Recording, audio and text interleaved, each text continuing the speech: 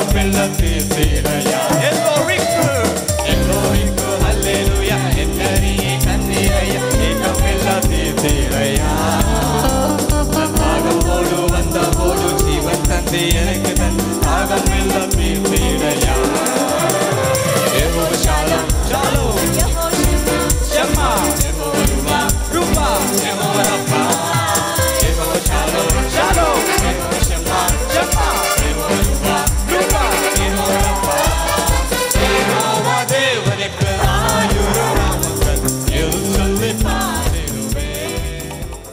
యేసుక్రీస్తునామం మీ అందరికీ వందనాలు. అందరు బాగున్నారా? ఈ రీతిగా ప్రతి శనివారం యేసులో విజయం అనే ప్రోగ్రాం ద్వారా దేవుని వాక్యం ద్వారా మీ వద్దకు రావడానికి దేవుడిస్తున్న ఈ తరుణాన్ని బట్టి దేవునికి వందనాలు తెలియజేస్తున్నాను. మా కోసం ప్రార్థన చేస్తున్నారా? మీకోసం మేము ప్రార్థన చేస్తున్నాం. మీ యొక్క ప్రేయర్ రిక్వెస్ట్ కోసం ప్రత్యేకంగా మేము ప్రార్థన చేస్తున్నాం. దేవుడు గత జూలై మాసంలో అద్భుతంగా సేవా పరిషత్లో దేవుడు వాడుకున్నాడు. అలాగే యూత్ ఫర్ జీసస్ ఎనిమిది సంవత్సరాలు మరి ముగించుకొని తొమ్మిదో సంవత్సరంలో ప్రవేశించడానికి దేవుడు సహాయం చేస్తున్నారు. ఇంకా రానున్న దినాల్లో కూడా ఈ పరిచర్య నమ్మకంగా కొనసాగులాగిన మీరు ప్రార్థన చేయండి. మీరు పైన ఉన్న ఫోన్ నంబర్స్కి మీరు కాల్ చేయవచ్చు. మా కోసం మీరు మరి మీ యొక్క ప్రోత్సాహాన్ని అందించండి. అలాగే మీరు వాట్సాప్ ద్వారా మాతో మీరు టచ్లో ఉండవచ్చు. ఏ అవసరత ఉన్నా మీకోసం ప్రార్థన చేయడానికి మేము సిద్ధంగా ఉన్నాం. అనేక ప్రాంతాల్లో మరి యూత్ మీటింగ్స్ యూత్ రిట్రీట్స్ అలా యూత్ క్యాంప్స్ మరి యూత్ బైబిల్ స్టడీస్ ఏర్పాటు చేయాలని ఎంతగానో మేము ఆశపడుతున్నాం. మా కోసం ప్రార్థన చేయండి. ఒకవేళ యవనస్తుల పరిచర్య ఇంకా బాగా జరగాలి అని దేవుడు మిమ్మల్ని ప్రేరేపిస్తే ఈ యొక్క పరిచర్యలో మీరు కూడా పాలిభాగస్తులు కావాలని మిమ్మల్ని కోరుచున్నాను. చిన్న ప్రార్థన చేసుకుందాం. మహోన్నతుడ పరిశుద్ధుడా నీ కొందనాలు ఈ సమయంలో ప్రభా నీ వాక్యాన్ని ధ్యానిస్తుండగా ప్రభా మీరే మాతో మాట్లాడుమని. ఏసు నామమున ప్రార్థించి వేడుకొంచున్నాము తండ్రి. ఆమెన్. ఒక మనిషి జీవించాలంటే చాలా ప్రాముఖ్యమైనది ఏంటంటే ఆహారం. ఒకవేళ ఆహారం తినకపోతే ఒక్క పూట తినకపోతేనే మనం చాలా వెలితిగా ఉంటుంది. ఒకవేళ ఒక రోజంతా అలా ఉండాలి అంటే చాలా మనకి నీరసనం అయిపోతాం చాలా ఆకలిగా ఉంటుంది చాలా మరి బలహీనం అయిపోతాం. ఆహారం అనేది చాలా ప్రాముఖ్యమైనది. ఒకవేళ మరి అలా త్రీ ఫోర్ డేస్ అలా ఉండిపోతే ఒక వన్ వీక్ ఏమీ తినకుండా ఉంటే మరి ఆటోమేటిక్గా చాలా వీక్ అయిపోతాం. మనకి ఇంకా హాస్పిటల్ తీసుకెళ్ళి ఫ్లూయిడ్స్ ఎక్కించాల్సిన పరిస్థితి ఏర్పడుతుంది. ఆహారం ఎంత ముఖ్యమో శరీరానికి చాలా విలువైనది చాలా ప్రాముఖ్యమైనది. ముఖ్యంగా యంగ్ ఏజ్లో యంగ్ లైఫ్స్లో చాలా ఇంపార్టెంట్ ఏంటంటే ఆత్మీయ ఆహారం అయిన దేవుని వాక్యము. Word is life for us వాక్యము జీవమై ఉన్నది. Word is a food for us ఎవరైతే నిజంగా ఆకలి కొని ఉన్నారో వారిని తృప్తిపరిచేది దేవుని వాక్యం. కానీ ఈ రోజుల్లో చాలా విచిత్రమైన పరిస్థితి ఏంటంటే యవనస్తులకి అన్నిటికీ టైం ఉంటుంది కానీ ఒకదానికి అస్సలు టైం ఉండదు. ఏంటంటే దేవుని వాక్యాన్ని చదవటానికి. కనీసం ప్రార్థన చేసుకుంటారు కానీ ఒక ఐదు నిమిషాలు హడావుడిలో వాక్యం చదవటానికి మాత్రం టైం ఉండదు. మాకు టైం లేదండి మేము చాలా బిజీ. మార్నింగ్ లేచిన వెంటనే మేము ప్రార్థన చేసుకుంటున్నాం దేవునికి తెలుసు మేము ఎంత బిజీయో. ప్రియ తమ్ముడు ప్రియ చెల్లి ఆత్మీయ జీవితంలో బలపడాలన్నా ఆత్మీయ జీవితంలో ఎదగాలి అన్నా ఆత్మీయ జీవితంలో దేవునిలో ముందుకు వెళ్ళాలి అన్న ఒక స్టెప్ ముందుకు వెళ్ళాలి అంటే చాలా ప్రాముఖ్యమైనది ఆత్మీయ ఆహారం దేవుని వాక్యము. అన్నీ మారిపోయినాయి. సంవత్సరాలు వెళ్తున్న కొద్దీ ప్రతిదీ మారిపోతుంది. కల్చర్ మారుతుంది ట్రెడిషన్స్ మారుతున్నాయి లేకపోతే స్టైల్స్ మారుతున్నాయి లైఫ్ స్టైల్ మారుతుంది మీడియా మారుతుంది యవనస్తులు మారిపోతున్నారు. కానీ ఒక్కటి మారలేదు ఏంటో తెలుసా? దేవుని వాక్యము. ప్రైజ్ ద లా సుమారు మూడు వేల ఐదు వందల సంవత్సరాల పైచిలుకు నేటికి మారనిది మార్పు చెందంది. అలానే ఉన్నది ఏంటో తెలుసా? దేవుని వాక్యం. మీకు తెలుసో లేదో? మరి ఒక పాలిటిక్స్ స్టూడెంట్గా నేను చెప్పగలను. ప్రతి దేశానికి ఒక రాజ్యాంగం ఉంటుంది. మన దేశానికి కూడా రాజ్యాంగం ఇవ్వబడింది డాక్టర్ బిఆర్ అంబేద్కర్ గారి ద్వారా. రాజ్యాంగంలో సవరణలు అని ఉంటాయి. మార్పు చేర్పులు చేస్తూ ఉంటారు. అమెండ్మెంట్స్ అంటారు. దేశానికి రాజ్యాంగానికి కూడా అమెండ్మెంట్స్ ఉంటాయి. సవరణలు ఉంటాయి. ఇలా కాదు ఇలా చేయాలి. ఈ ప్రజల మెరుగు పరిచే పరిస్థితి ఇలా ఉంటే బాగుంటుంది. ఈ ఫలానా వ్యక్తులకు ఇలా చేస్తే బాగుంటుంది అని రకరకాల మార్పులు చేర్పులు చేస్తారు. అమెండ్మెంట్స్. సవరణలు చేస్తారు. ఆ చట్టాలని మారుస్తూ ఉంటారు. కానీ బైబిల్ని ఎవరు మార్చలేరు. బైబిల్ ఎప్పుడూ అలానే ఉంటుంది. బైబిల్కి సవరణలు అవసరం లేదు. Bible is self sufficient. Bible is sufficient. Bible is complete. అందుకనే ఒక్క పొల్లైనను ఒక్క సున్నైనను దాని నుంచి గతించిపోదు. దేవుని మాటలు గతించిపోవు. దేవుని మాటలు మారిపోవు అని ఆయన వాగ్దానం ఇచ్చే దేవుడు నెరవేర్చే దేవుడు అని చాలా లేఖన భాగాలు మనం చూడగలం. ఎవరు దీనికి కలపలేరు ఎవరు దాని నుండి తీసివేయలేరు. అంత గొప్పది దేవుని వాక్యం. ఈ మధ్య ఒక ఛానల్లో డిస్కషన్ జరుగుతుంది. ఆ ప్యానల్లో ఒక వ్యక్తి వాదిస్తున్నాడు. పెట్టిన ఆ బ్యానర్ హెడ్డింగ్ ఏంటో తెలుసా? ఇదేం క్రైస్తవ్యం. ఈ పనికి మాలిన టీవీ ఛానల్స్ ఏం చేస్తారంటే కొంతమంది సేవకులు చేసే తప్పుని క్రైస్తవులందరూ ఇంతే అని నెపం వేస్తూ ఉంటారు. చాలా దౌర్భాగ్యం గట్టిగా అడిగే వాళ్ళు లేక టీవీ ఛానల్స్ ఇష్టం వచ్చినట్టు ప్రవర్తిస్తున్నాయి. వాడంటాడు ప్యానల్లో ఉన్న ఒక వ్యక్తి ఇదేం క్రైస్తవ్యం అనే అంశం మాట్లాడుతూ ఏమంటున్నాడంటే బైబిల్లో ఎలా రాయబడింది ఏంటి? మీరు ఎలా బైబిల్లో ఎలా రాయగలరు? ఒక మాట ఉటంకిస్తూ అంటున్నాడు నలభై మూడవ అధ్యాయం యశయ గ్రంథము పదవచనంలో అంటున్నాడు నాకు ముందుగా ఏ దేవుడును లేడు నాకు తరువాత ఏ దేవుడును లేడు. లేఖన భాగంలో అది ఇవ్వబడింది. నిజమే అది సత్యం. యేసుక్రీస్తు వారు లేతే త్రిత్వమైన దేవుడు తండ్రి కుమార పరిశుద్ధాత్మ దేవుడు. అయితే ఆ యహోవా దేవుని ముందు ఎవరూ లేరు ఆయన తరువాత ఎవరూ లేరు ఉండరు ఉండబోరు. ఏకైక మానవ దైవం యేసుక్రీస్తు వారు. నీకు నచ్చినా నచ్చకపోయినా ఇది సత్యము ఇది తథ్యము. బైబిల్ని ఎవరు మార్చలేరు ఎవరు కలపలేరు ఎవరు తీసివేయలేరు. దాన్ని ఆయన అడుగుతున్నాడు ఎలా ఇలా రాయగలరు బైబిల్లో? బైబిల్ ఇప్పటికీ వేల సంవత్సరాలు గడిచిపోయింది కానీ బైబిల్ అనేకులకు ఒక ఆయన అంటాడు Bible is my guide. Bible ఒక గైడ్ లాంటిది. ప్రియ తమ్ముడు ప్రియ చెల్లి యవనస్తులు చాలామంది చాలా డౌట్స్ అడుగుతూ ఉంటారు. చాలా ఆశ్చర్యం కలుగుద్ది. వాళ్ళ దగ్గరికి వెళ్తారు ఆ అన్నయ్య ఆ అంకులు ఆ పాస్టర్ గారు ఈ Bible is a manual for you. ఎవరి దగ్గరికైనా వెళ్తే వెళ్ళు secondary primary first thing is come to the feet of the Lord దేవుడు నీతో మాట్లాడాలనే ఈ పరిశుద్ధ గ్రంథాన్ని నీకు ఇచ్చాడు. నీకు ఒకవేళ తెలియకపోతే డౌట్స్ ఉంటే దేవుని గ్రంథాన్ని విప్పి చదివితేగా మనకు అర్థమయ్యేది? అంటారు కదా గుర్రాన్ని నీళ్ళ వరకు తీసుకెళ్ళం కానీ తాగించడం మన పని కాదు. దేవుడికి పరిశుద్ధ గ్రంథాన్ని ఇచ్చాడు. No reading Bible is reading God దేవుని వాక్యాన్ని చదివితే దేవుని నువ్వు తెలుసుకుంటావు. Knowing Bible is knowing God దేవుని గురించి చాలా ఈ రోజుల్లో ఇంకో విచిత్రమైన సంఘటన.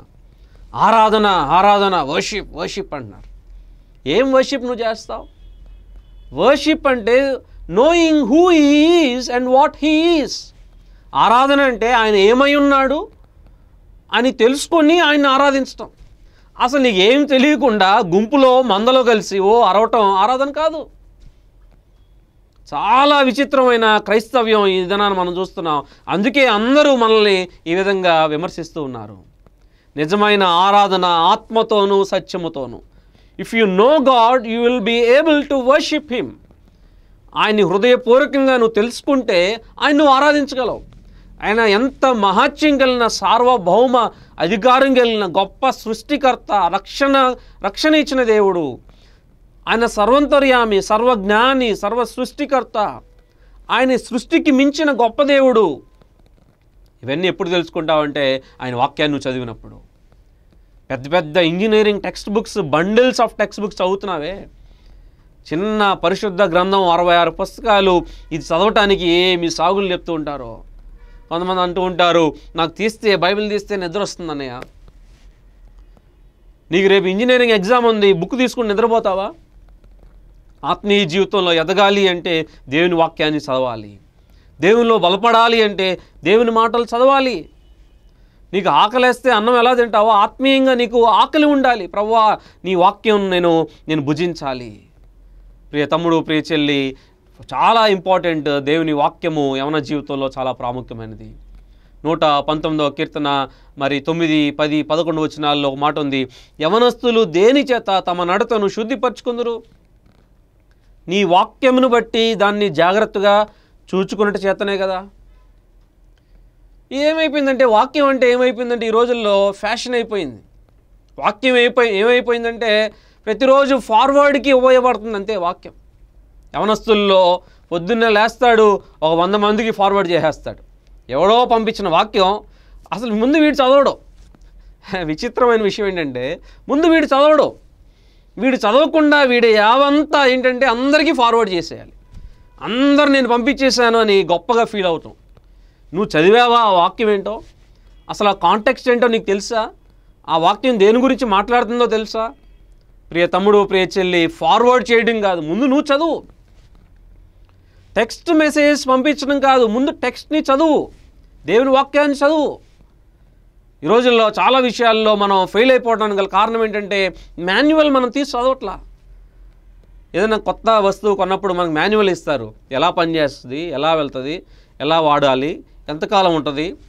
మన జీవితానికి మన లైఫ్కి దేవుడిచ్చిన మాన్యువల్ ఏంటంటే హోలీ బైబిల్ పరిశుద్ధ గ్రంథం. ప్రియ తమ్ముడు ప్రియ చెల్లి ఆ బైబిల్ని చదువుతున్నావా? నీ లైఫ్లో మ్యారేజ్ సంగతి ఏంటి? దేవుడు తెలియజేస్తాడు. లైఫ్ ఎలా జీవించాలి? దేవుడు తెలియజేస్తాడు. నీ చదువులు ఎలా? దేవుడు తెలియజేస్తాడు. నీ కెరీర్ ఎలా? దేవుడు తెలియజేస్తాడు. పాపాన్ని ఎలా జయించాలి? దేవుడు నీకు తెలియజేస్తాడు. శోధన ఎలా జయించాలి? దేవుడు నీకు తెలియజేస్తాడు. ఎవరితో ఎలా మెలగాలి? దేవుడు నీకు తెలియజేస్తాడు. సంఘంలో ఎలా బలపడాలి? దేవుడు నీకు తెలియజేస్తాడు. బైబిల్లో లేదంటూ ఈ లోకంలో బైబిల్ ఈ లోకంలో గురించిన విషయాలు కానీ లేకపోతే నీకున్న డౌట్స్ బైబిల్లో లేనివి ఏమీ లేవు. నీ డౌట్స్ అన్నీ క్లారిఫై చేయడానికి దేవుడు నీకు పరిశుద్ధ గ్రంథాన్ని ఒక అద్భుతమైన మాన్యువల్గా దేవుడు నీకు ఇచ్చాడనే విషయాన్ని నేను జ్ఞాపకం చేస్తున్నాను. దేవుని వాక్యాన్ని చదువుతున్నామా? చూడండి ఇర్మియా గ్రంథము పదిహేనవ అధ్యాయము పదహారవ వచనంలో ఒక మాట ఉంది. నీ మాటలు నాకు దొరకగా నేను వాటిని భుజించి తిని ఆ దాహం ఉండాలి. ఎప్పుడు చదవాలి దేవుని వాక్యం? మార్నీ మార్కెల్ అనే ఫేమస్ సౌత్ ఆఫ్రికన్ ప్లేయర్ ఇట్లా అంటాడు. I never leave home without my Bible. ఏ దేశానికి వెళ్ళినా ఎక్కడికి వెళ్ళినా ఎక్కడ ఆడుకోవటానికి క్రికెట్ ఆడటానికి వెళ్ళినా ఎంత ఇంటర్నేషనల్ ప్లేయర్ అయినా I never leave home without my Bible. నా బైబిల్ లేకుండా నేను ఇంటి నుంచి బయటికి వెళ్ళను. అంతగా రాణించబడ్డానికి గల కారణం ఏంటంటే బైబిల్ దేవుని వాక్యం నన్ను బ్రతికిస్తూ ఉంది నన్ను నడిపిస్తూ ఉంది. ఎక్కడికి వెళ్ళినా అద్భుతంగా మార్నింగ్ మార్కల్ అంటే ఆల్రౌండ్ ప్లేయర్ యవన జీవితంలో దేవుని వాక్యానికి ప్రాధాన్యత ఇస్తున్నావా? ముఖ్యంగా యవనస్తులకి నేను ఇచ్చే సలహా ఏంటంటే సామెతల గ్రంథం చదవండి. ముప్పై ఒకటి అధ్యాయాలు నెలలో ముప్పై ముప్పై ఒకటి రోజులు అటు ఇటుగా. ప్రతి రోజుకు ఒక అధ్యాయం పట్టుమని ఒక అధ్యాయం చదివితే చాలు. ముప్పై రోజుల్లో ముప్పై అధ్యాయాలు ముప్పై ఒకటి అధ్యాయాలు కంప్లీట్ చేయవచ్చు. సామెతల గ్రంథం నీకు తెలియజేస్తుంది. తల్లిదండ్రులను ఎలా గౌరవించాలి? నువ్వు అసలు ఎలా జీవించాలి? ఈ రోజుల్లో ఏంటంటే బేసిక్స్ సరిగ్గా లేవు. ఫౌండేషన్ సరిగ్గా లేదు యవనస్తుల్లో. ఏదేదో ఊహించేసుకుంటూ ఉంటారు. నేను చాలా అది నేను ఇది నేను ప్రార్థనాపరుడిని నేను ఆత్మీయ వీరుడిని అనుకుంటాం. బేసిక్స్ ఫౌండేషన్ లేకుండా బిల్డింగ్ పడిపోతుంది. నువ్వెంత ఊహించుకున్నా ఆ యొక్క బిల్డింగ్ నిలవదు. చాలా important. Word of God is the foundation for your life ప్రియ తమ్ముడు ప్రియ చెల్లి ఏదో చిన్నప్పుడు సండే స్కూల్కి వెళ్ళి నేర్చుకున్న నాలుగైదు వాక్యాలు మాత్రమే కాదు నీ యొక్క అనుదిన జీవితంలో నీ యొక్క యవన జీవితంలో నీ యవనస్తులు దేని చేత తమ నడతను శుద్ధిపరచుకుందరు నీ వాక్యమును బట్టి దాన్ని జాగ్రత్తగా చూసుకున్నట్టు చేతనే కదా. Word of God will help you and safeguard you protect you వాక్యం అనుక్షణం నేను భద్రపరుస్తుంది. ఇది తప్పు. ఇలా చేయకూడదు. ఫ్రెండ్స్ ఈ రోజుల్లో చెప్పరు అంత షో ఆఫ్ నువ్వేమనుకుంటావు అని ఫీల్ అవుతావేమో అని ఫ్రెండ్షిప్ ఏమైనా బ్రేక్ అయిపోద్దేమో అని. తల్లిదండ్రులు చెప్పినా మనం వినాం కొన్నిసార్లు కానీ దేవుని వాక్యం అనుక్షణం నిన్ను దండిస్తూ ఉంటుంది. అందుకే నేను నూట పంతొమ్మిదో కీర్తన నూట ఐదో వచ్చిన ఒక మాట ఉంది నీ వాక్యము నా పాదములకు దీపము నా త్రోవకు అది వెలుగు. అనుక్షణము నేను గైడ్ చేస్తూ ఉంటుంది. ఒక మాట ఉంది ముప్పై రెండవ కీర్తన ఎనిమిదో వచనంలో నీకు ఉపదేశము చేసేదను నీవు నడువలసిన మార్గము నీకు తెలిపేదను. I will teach you and I will instruct you in the way you should go వాళ్ళని వీళ్ళని అడగటం కాదు దేవుని వాక్యం నీకు చెప్తుంది రెడీగా ఉంది. దేవుని వాక్యాన్ని నువ్వు చదువుతున్నావా? Word of God Bible is a love letter for you మా యవనస్తులు ఎప్పుడు నేను ఇదే చెప్తాను. ఒక అందమైన అమ్మాయి వచ్చి లవ్ లెటర్ ఇస్తే నీకు తీసుకుని పక్కన పడేస్తావా? చాలా ఆసక్తితో చాలా జాగ్రత్తగా ఇంటికి తీసుకెళ్ళి దాన్ని స్మెల్ చూసుకొని చక్కగా ఓపెన్ చేసి line line after line line after line చాలా జాగ్రత్తగా చదువుతావు. ఎందుకంటే ఒక అందమైన అమ్మాయి ఇచ్చిన లవ్ లెటర్ అది. అందమైన అమ్మాయో అందమైన అబ్బాయో కాదు. యేసుక్రీస్తు వారు నీకు ఇచ్చిన లవ్ లెటర్ హోలీ బైబిల్. ఆయన నీకు లవ్ ప్రపోజ్ చేస్తున్నాడు ఆయన నీతో మాట్లాడాలని ఇష్టపడుతున్నాడు. ఆయన వాక్యం ద్వారా మనతో మాట్లాడాలని ఆశపడుతున్నాడు. ఆయన వాక్యం మనం చదవకపోతే ఆయన ఎంత బాధపడతాడు?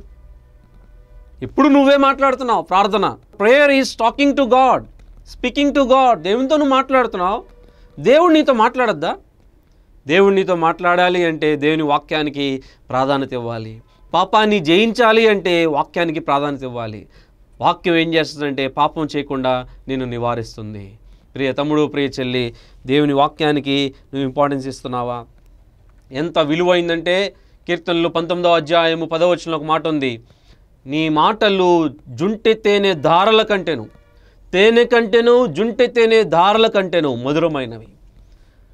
Tastier and sweeter than honey. తేనంటేనే చాలా స్వీట్ అంతకంటే స్వీట్ దేవుని మాటలు. చదివితే దాంట్లో ఉన్న ఆనందం మనకు తెలుస్తుంది. Taste and see that the Lord is good రుచి చూచి తెలుసుకుని యహోవా ఉత్తముడని.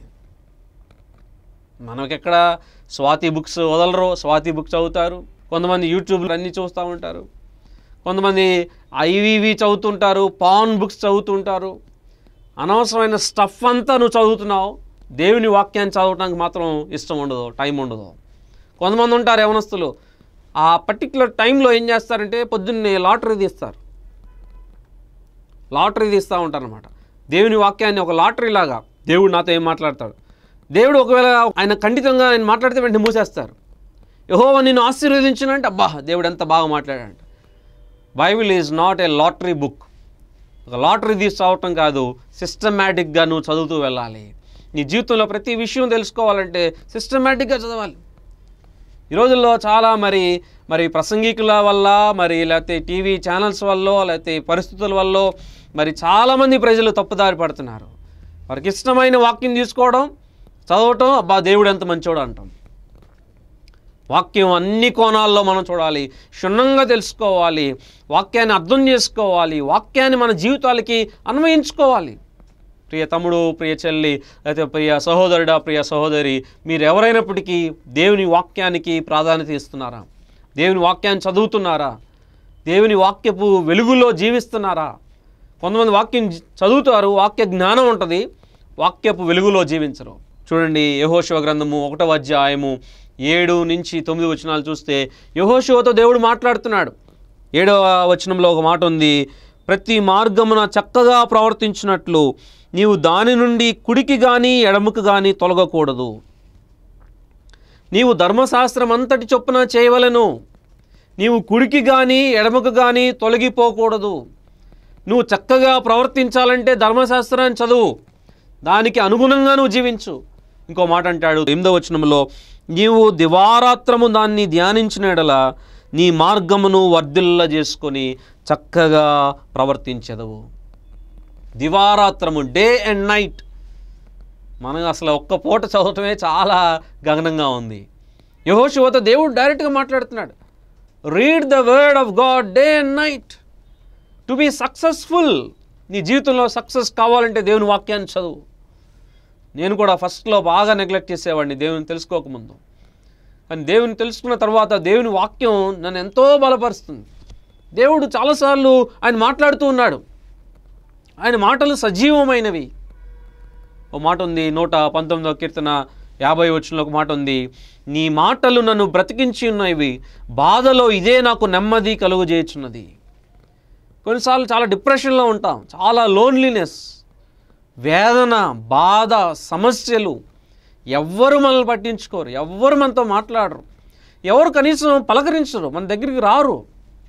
దేవుని వాక్యం ఆ సమయంలో నీతో ఉంటుంది. నీ మాటలు నన్ను బ్రతికించి ఉన్నాయి ఒకవేళ ఆత్మీయంగా చచ్చుబడిపోతే ఆత్మీయం తిరిగి లేపేది దేవుని వాక్యం. నీ మాటలు అవి నాకు బాధలో నెమ్మదిని కలుగజేస్తాయి. దేవుని మాటలు నిజంగా నెమ్మదిని ఇస్తాయి. సమాధానాన్ని ఇస్తాయి. ఆనందాన్ని ఇస్తాయి. దేవుని వాక్యాన్ని నువ్వు చదువుతున్నావా? ఇర్మియా గ్రంథము పదిహేనవ అధ్యాయం పదహారవచనంలో ఒక మాట ఉంది. నీ మాటలు నాకు సంతోషమును ఆనందమును కలుగు చేయుచున్నవి word of God gives you joy and pleasure ఈ లోకంలో ఎక్కడ లేని ఆనందం దేవుని వాక్యంలో ఉంది దేవుని గ్రంథంలో ఉంది. చదవండి తెలుసుకోండి. ప్రియ తమ్ముడు ప్రియ చెల్లి అది చాలా ఇంపార్టెంట్ అందుకనే యహోశివ తన జీవితంలో అంటాడు తన జీవితంలో ఆశీర్వదింపటానికి గల కారణం తన ప్రజలందరినీ ధర్మశాస్త్రం ప్రకారంగా ఆయన నడిపించాడు. వాక్యానుసారంగా నడిపించాడు. అందుకే యహోశివని దేవుడు అంత బలంగా వాడుకున్నాడు. Utmost priority to God's word first priority to God's word చాలామంది మొబైల్ ఫోన్స్లో ఒక యాప్ ఉంటుంది. ఏంటంటే వాట్సాప్. వాట్సాప్ లేని వాళ్ళు యవనస్తులు నాకు తెలిసి నైంటీ నైన్ పర్సెంట్ ఎవరు ఉండకపోవచ్చు. ఉండరేమో హండ్రెడ్ పర్సెంట్. అందరికీ ఉంటుంది. కానీ ఒక యాప్ ఉండదు బైబిల్ యాప్ ఉండదు. చాలా ఇంపార్టెంట్. ఒకవేళ నీకు బైబిల్ తీసి చదవటం ఒకవేళ నీకు వీలు కాని పక్షంలో కనీసం బైబిల్ యాప్ డౌన్లోడ్ చేసుకో. నువ్వు బస్సులో వెళ్తున్నప్పుడు నువ్వు ట్రైన్లో వెళ్తున్నప్పుడు నువ్వు ప్రయాణం చేస్తున్నప్పుడు కాలేజీకి వెళ్తున్నప్పుడు నీ జర్నీలో ఏదో ఒక టైంలో టైం వేస్ట్ చేయడం కంటే బైబిల్ యాప్ తీసి చదువు దేవుని వాక్యం చదివిన వాళ్ళు ఎప్పుడూ నష్టపోలేదు. దేవుని వాక్యం చదివిన వాళ్ళు ఎన్నడూ వాళ్ళు ఫెయిల్ అయినట్టు కానీ దేవుని వాక్యం చదివిన వాళ్ళు డిప్రెషన్లోకి వెళ్ళినట్టు ఎక్కడ లేదు. దేవుని వాక్యం చదివిన వారు ఎప్పుడు ఆ వారు బలం పొందుకున్నట్లు దేవుని కోసం ముందుకు వెళ్ళినట్లు మనం చూస్తాం. దాంట్లో భాగమే యహోశివ జీవితం. యహోశివతో దేవుడు అంటున్నాడు నువ్వు ధర్మశాస్త్రం ప్రకారం జీవించు కుడికి కానీ ఎడమకి కానీ వెళ్ళొద్దు. చక్కగా ప్రవర్తించు. దివారాత్రం దాన్ని చదువు అప్పుడు నీవు వర్ధిల్లుతావు. ప్రియ తమ్ముడు ప్రియ చెల్లి నీ యొక్క ఆత్మీయ జీవితంలో దేవుని వాక్యానికి ఇంపార్టెన్స్ ఇస్తున్నావా? ఫేస్బుక్ కాదు హోలీ బుక్ చదవండి. ఈ రోజుల్లో ప్రతిరోజు ఫేస్బుక్ ఓపెన్ చేయకుండా ఎవరు ఉంటలా ఫేస్బుక్ ఓపెన్ చేయకుండా ఒక్కరోజు ఉంటే చాలా వాడికి అసలు ఏదో కోల్పోయినట్టు ఉంటుంది. చాలా వెల్తీగా ఉంటుంది అనమాట ఫేస్బుక్ కాదు హోలీ బుక్ చదువు. ఫేస్బుక్ చూడటం వల్ల నీకు వచ్చే ఉపయోగం ఏమీ లేదు. టైం పాస్ అంతే. సోషల్ రిలేషన్షిప్ ఓకే మంచిదే కొంతవరకు కానీ it is killing your time. But if you read holy book it will give you life. ప్రియ తమ్ముడు ప్రియ చెల్లి దేవుని వాక్యానికి ఇంపార్టెన్స్ ఇవ్వాల్సిందిగా ప్రభుపేట మిమ్మల్ని కోర్చున్నాను. ఎవరైనా డాక్టర్ బిలిగ్రహం గారు కావచ్చు బ్రదర్ భగత్ సింగ్ గారు కావచ్చు దేవుని చేత బహుబలంగా వాడబట్టడానికి గల కారణం ఏంటంటే వారు ఎక్కువ సమయం దేవుని వాక్యాన్ని చదివారు. దేవుని సన్నిధిలో గడిపారు వారు. దేవుని మాటలు వినటానికి వారు ఇష్టపడ్డారు. అందుకే దేవుడు వారిని బలంగా వాడుకున్నాడు. అనేక మంది యవనస్తులు పాపంలో పడిపోవడానికి గల కారణం దేవుని వాక్యం చదవరు. అవసరం వచ్చినప్పుడు దేవుని దగ్గరికి వచ్చి ప్రార్థన చేస్తారు కానీ దేవుని వాక్యాన్ని చదవరు. దేవుని వాక్యము సంపూర్ణమై ఉన్నది. దేవుని వాక్యం నిన్ను బలపరిచేది. దేవుని వాక్యం బాధ నుండి విడుదలనిచ్చేది దేవుని వాక్యం సంతోషాన్ని ఇచ్చేది. దేవుని వాక్యం పాపం నుంచి నిన్ను విడిపిస్తుంది. దేవుని వాక్యం శోధన నుంచి జయించేలాగా నీకు సహాయం ఇస్తుంది. దేవుని వాక్యాన్ని చదువు. యహోశివ వర్ధిల్లాడు కారణం ఏంటంటే దేవుని వాక్యాన్ని ఎక్కువగా ధ్యానం చేశాడు. నీ జీవితంలో దేవుని వాక్యాన్ని ధ్యానం చేయడానికి ఇష్టపడుతున్నావా? ఒకవేళ అలా కాని పక్షంలో ఒకసారి మీ జీవితాలని పరిశీలించుకోండి. Bible is a textbook to grow spiritually Bible is a textbook to grow spiritually ఆత్మీయంగా నువ్వు బలపడటానికి అదొక టెక్స్ట్ బుక్ లాంటిదన్నమాట. టెక్స్ట్ బుక్లో అన్ని క్వశ్చన్స్ నువ్వు సరిగ్గా చదవకపోతే ఆన్సర్ షీట్ సరిగ్గా ఆన్సర్ చేయలేవు. టెక్స్ట్ బుక్లో అన్ని క్వశ్చన్స్ కొంతమంది కొన్నిసార్లు ఏం చేస్తాం? ఇంపార్టెంట్ క్వశ్చన్స్ అన్నీ చదువుతాం. ఎగ్జామ్లో సడన్గా అసలు ఇంపార్టెంట్ క్వశ్చన్స్ ఏమి రావు వేరే వస్తాయి. ఆత్మీయ జీవితంలో కూడా అంతే. నువ్వేదో చాలా ఇంపార్టెంట్ అనుకున్నవి నువ్వు చదువుతున్నావు వింటున్నావు చాలే అనుకుంటున్నావు. అలా కాదు బైబిల్లో ప్రతిదీ నువ్వు చదవాలి. ఆది కాండం నుండి ప్రకటన గ్రంథం వరకు ఒక్కసారైనా నువ్వు చదివావా? కనీస అవగాహన నీకుందా? దేవుడు ఎప్పుడైనా నీతో వాక్యం ద్వారా మాట్లాడా ఆ అనుభవం నీకుందా? దేవుడు నీతో మాట్లాడుతున్నప్పుడు వాక్యం ద్వారా సరి చేసుకుంటున్నావా? విచిత్రం ఏంటంటే ఈ రోజుల్లో చాలా విచిత్రం. దేవుని వాక్యాన్ని పక్కన పెట్టేసి ఎవరో పలానా బ్రదర్ నాకు ఇది చెప్తారు దర్శనం చెప్తారు. పలానా సిస్టర్ దేవుడు వాళ్ళు చెప్తారంట వాళ్ళు తీసుకొచ్చి నాకు చెప్తారంట. ఇదేంటి విచిత్రం నాకు అర్థం కాదు. దేవుడు మాట్లాడటం ఇష్టం ఉండదు వీళ్ళకి. ఎవరెవరో ఏదో చెప్పాలి. అది వాక్య విరుద్ధం. చాలామందికి బేసిక్ నాలెడ్జ్ లేకపోవటం వల్లే ఇంత దౌర్భాగ్యపు పరిస్థితులు మనం చూస్తున్నాం. ఇదివరకు దినాల్లో పాత నిబంధన దినాల్లో వాక్యం పూర్తిగా అందుబాటులో లేదు. అందుకే దేవుడు ప్రవక్తలను వాడుకున్నాడు. దేవుని విషయాలు వారికి తెలియజేయడానికి భవిష్యత్తు గురించిన విషయాలు తెలియజేయడానికి ప్రవక్తలను వాడుకున్నాడు. వాళ్ళు వెళ్ళి ప్రవచనం చెప్పారు. ఈ రోజున అవసరం లేదు ఎందుకంటే బైబిల్ ఈజ్ కంప్లీట్. బైబిలే ఒక ప్రవచనం బైబిల్ అందుబాటులో మనకుంది. అది చదివితే చాలు నీ భవిష్యత్తు గురించిన విషయాలు ఏమైనప్పటికీ అన్నీ అక్కడ రాయబడి ఉన్నాయి ఒక మనిషి బ్రతికిన క్షణం నుంచి ఒక మనిషి చనిపోయే వరకు చనిపోయిన తర్వాత జీవితం నిత్య జీవం నిత్య నరకం ప్రతిదీ A to Z is in the Bible బైబిల్లో లేనిది ఏమీ లేదు. నువ్వు బయటికి వెళ్ళి అక్కడికి పరిగెత్తాల్సిన అవసరం ఏమీ లేదు. ఎవరిని అడగాల్సిన అవసరం లేదు. బైబిల్ ఈజ్ సెల్ఫ్ డిపెండెంట్ అది దానంతట తానే బైబిల్ నీకు చెప్పగలిగిన పరిస్థితుల్లో బైబిల్ దేవుడు ఉంచాడు దేవుని మాటలు కాబట్టి. ప్రియ తమ్ముడు ప్రియ చెల్లి అక్కడికి ఇక్కడ పరిగెడతావు వాళ్ళు ఏదో చెప్తారు వీళ్ళు ఏదో చెప్తారు. మీరు నా కోసం ప్రార్థన చేసేమని చెప్తారా? దేవుడు మీకేం చెప్పాడో? అంత అవసరం ఈ దినాన లేదు. దేవుడు నీతోనే డైరెక్ట్గా మాట్లాడటానికి తన లేఖనాలు అందుబాటులో ఉంచాడు. పిచ్చితనంగా లేఖనాలు పక్కన పెట్టేస్తాం. వాక్యాన్ని దేవుణ్ణే పక్కన పెట్టేస్తాం. వాళ్ళ దగ్గరికి వీళ్ళ దగ్గరికి పరిగెడతాం. తప్పు వాక్య విరుద్ధము. దేవుని వాక్యాన్ని ధ్యానం చేయి. దేవుడు నీతో మాట్లాడతాడు. ఆయన డైరెక్ట్గా నీతో మాట్లాడతాడు. నీకు తెలియజేస్తాడు. సిస్టమేటిక్గా వెళ్ళు. లాటరీ కాదు. సెంటిమెంట్ కాదు. ఎమోషన్స్ కాదు.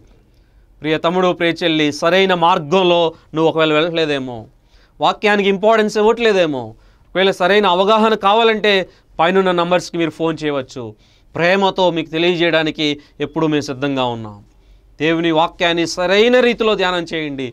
దేవుని వాక్యంలో ఉన్న అనుభవాలు దేవుని వాక్యపు వెలుగులో ఉన్న ఆ సహవాసము క్రీస్తు ప్రేమ ఈ లోకంలో ఎక్కడా మనకి లభించదు. దేవుని వాక్యం మనల్ని బలపరిచేది అదొక మాన్యువల్ లాంటిది అదొక గైడ్ లాంటిది. అనుక్షణము నీతో నిన్ను బలపరిచేది దేవుని వాక్యం. కనుక దేవుని వాక్యానికి ఇంపార్టెన్స్ ఇవ్వండి చదవండి ధ్యానం చేయండి దివారాత్రం దాన్ని ధ్యానం చేయండి. దేవుని వాక్యం నిన్ను భద్రపరుస్తుంది పాపాన్ని జయించడానికి నీకు సహాయం చేస్తుంది. అట్టి కృప పరిశుద్ధాత్మ దేవుడు మనందరికీ అనుగ్రహించిన గాక ప్రభా నీ కొందనాలు ఎవరైతే ప్రభా నాయన నీ వాక్యాన్ని ధ్యానం చేయాలని నీ వాక్యాన్ని చదవాలని ఇష్టపడుతున్నారో తీర్మానం తీసుకున్నారో ప్రత్యేకంగా వారిని మీరు దర్శించండి నాయన. ప్రభా నీ వాక్యం చదవాలని ఆశ వారికి మీరు దయచేయమని ఏసు నామమున ప్రార్థించి వేడుకుంటున్నాము తండ్రి. ఆమెన్. God bless you. మమ్మల్ని సంప్రదించవలసిన మా address brother N John Vijay Kumar youth for Jesus ESI hospital road Gunadala Vijayawada. మా WhatsApp numbers eight eight eight 555